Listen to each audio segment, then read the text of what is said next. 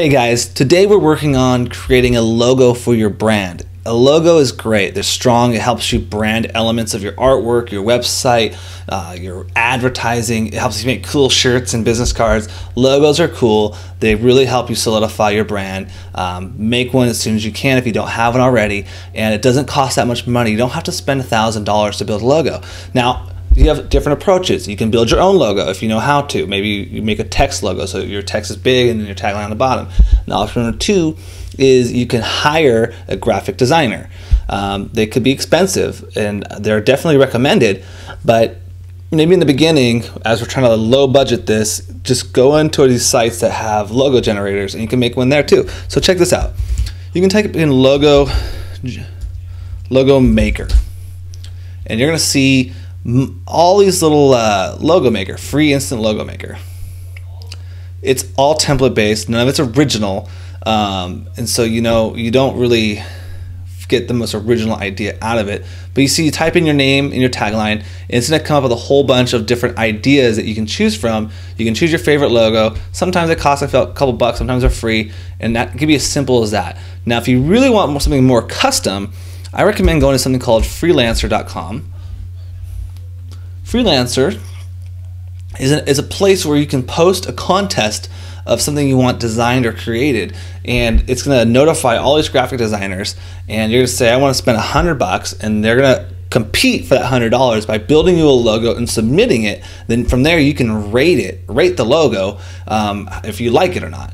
And then the winning logo wins. So here let me view the contest. This is a past contest we did for a client of ours called Quality Motors.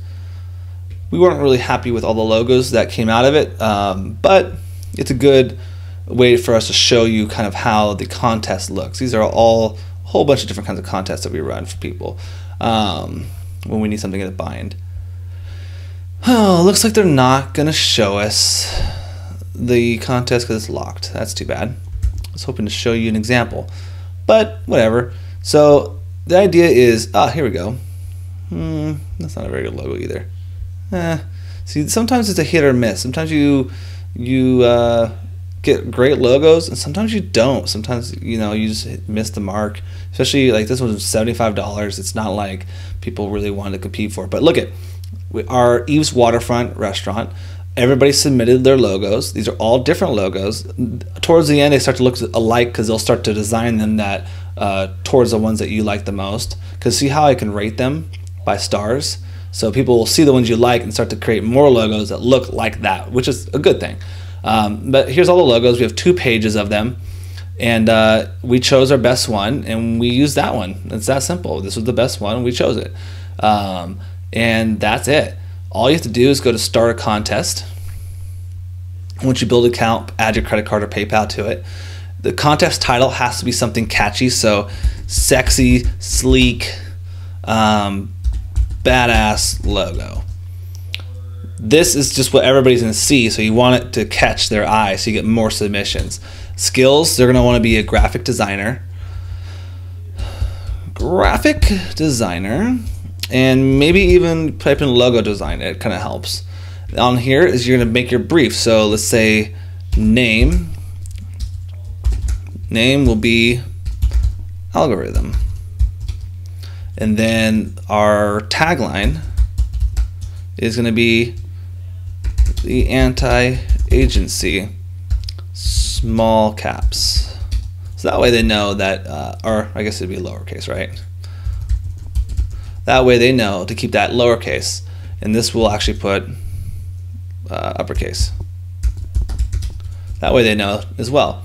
Um, then underneath we'll have a brief area and we'll say um, please use reds um, and blacks. Reds and blacks so they know what kind of colors we like.